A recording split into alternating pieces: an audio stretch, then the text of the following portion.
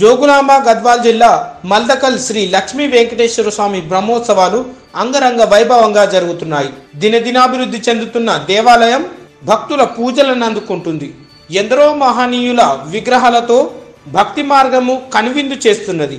తిమ్మప్ప స్వామి బ్రహ్మోత్సవాలు వైభవంగా నిర్వహించాలని గద్వాల్ ఎమ్మెల్యే బండ్ల కృష్ణమోహన్ రెడ్డి ప్రత్యేక చొరవతో ఈసారి బ్రహ్మోత్సవాలకు ప్రాధాన్యత సంతరించుకుంది. కళ్యాణోత్సవం తెప్పోత్సవం రథోత్సవంతో పాటు ఎద్దులు బండలాగుడు పోటీలు ఘనంగా నిర్వహించనున్నారు. ఈ కార్యక్రమానికి ముఖ్య అతిథిగా రాష్ట్ర వైద్య ఆరోగ్య శాఖ మంత్రి హరీష్ రావు హాజరు కానున్నారు. దేవాలయ పరిసరాల్లో కొత్త రూపును సంతరించుకున్నాయి. ఆదిశిలపై వెలిసిన శ్రీనివాసునితో పాటు పశ్చిమ భాగాన వెలిసిన శ్రీ ఆంజనేయ స్వామి దేవాలయంలో హనుమత్ వ్రతం ఘనంగా నిర్వహించారు. ఉదయం పంచామృతాభిషేకం హనుమత్ వ్రతం బలిహరణం మయూర వాహనం హనుమత్ వాహనం చే బోడి ప్రభపై ఉత్సవమూర్తుల ఊరేగింపు జరిగింది. ఈ ఉత్సవాలలో ముఖ్య అతిథులైన తంబిహల్లి మాధవ పీఠాధిపతి శ్రీ విద్యాసింధు మాధవ తీర్థులు ఉదయం దేవాలయంలో పూజలు అనంతరం హనుమత్ పూజ సంస్థాన పూజ నిర్వహించారు ఈ కార్యక్రమంలో దేవాలయ చైర్మన్ ప్రహ్లాదరావు కార్య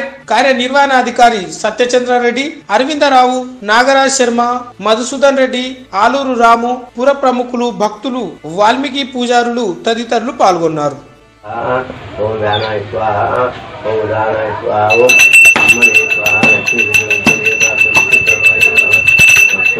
తాత్కాలిక మహానైవేద్యం సమర్పయామి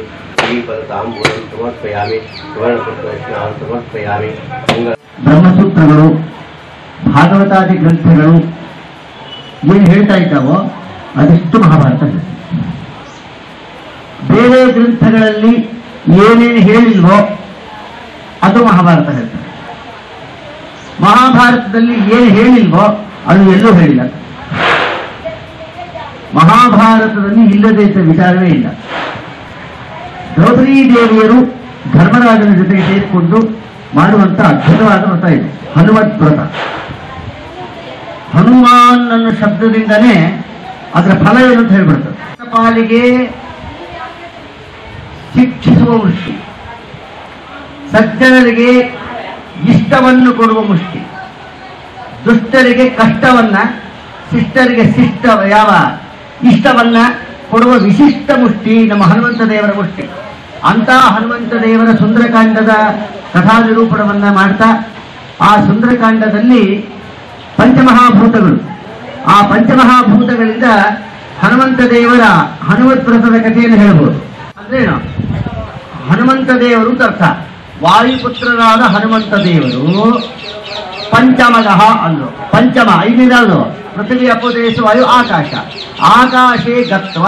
ಅಂದ್ರೇನು ಚತುರ್ಥಜ ವಾಯುಪುತ್ರರಾದ ಹನುಮಂತ ದೇವರು ಪಂಚಮಗಃ ಆಕಾಶದಲ್ಲಿ ಹಾರಿಕೊಂಡು ಹೋಗಿ, ದೃಷ್ಟ್ವಾ ಸತೀತು ಪ್ರಥಮ ಜಾಮ್ ಅಂದ್ರು ಪ್ರಥಮ ಅಂದ್ರೆ ಮೊದಲನೇದಾದ ಪಂಚಮಹೂತಗಳಲ್ಲಿ